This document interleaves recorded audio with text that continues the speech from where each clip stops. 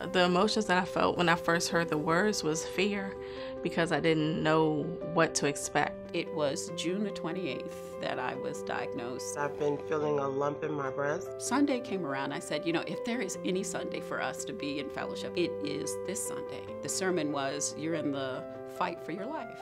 We've doubled the uh, national average of breast cancers diagnosed at our facility. Trying to find those tumors as early as you can is very key.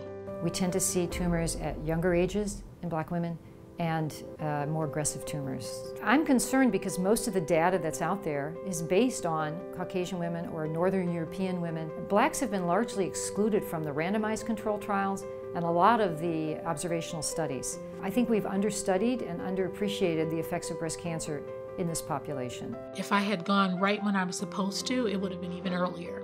So one thing I have learned is you don't want to delay this. In some communities, the word cancer is equated with death.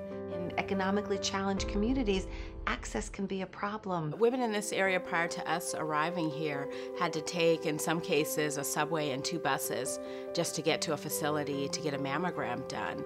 And that's why women were not getting their mammograms. I didn't know what to do, who to talk to, or what to say or who to tell. I was walking around smiling like nothing was wrong, trying to be brave for everybody else was scared to death. Just because we serve the underserved, I don't think that we have to look like we serve the underserved. Our navigator is bilingual, so she speaks Spanish. I think many times when patients call and they can hear someone who speaks Spanish, that immediately just decreases some of the anxiety and makes them feel like, okay, great, this will be a place that I can come to. It's really hard when you don't have a support system.